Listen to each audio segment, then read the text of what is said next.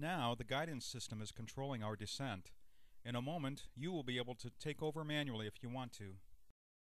The computer tells us we are heading for the area at the 40 mark on the window grid.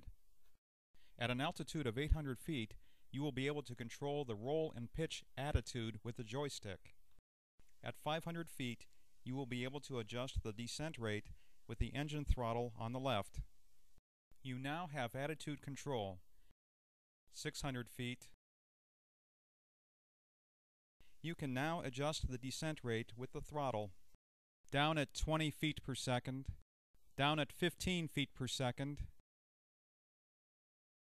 Down at 10 feet per second.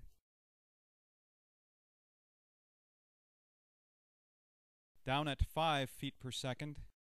We can see our shadow. When we get below 100 feet, we want to be descending at a rate of less than 5 feet per second. 200 feet.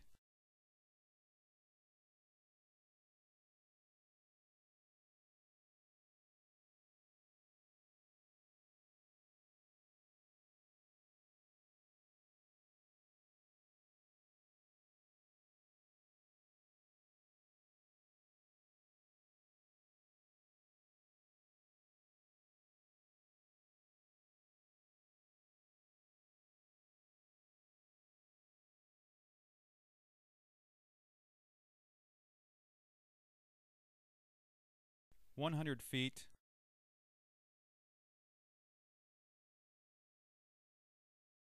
Eighty feet. We're picking up some dust.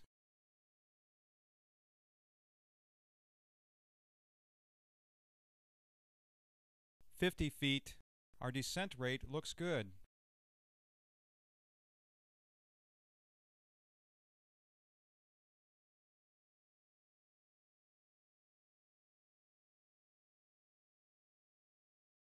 Contact light.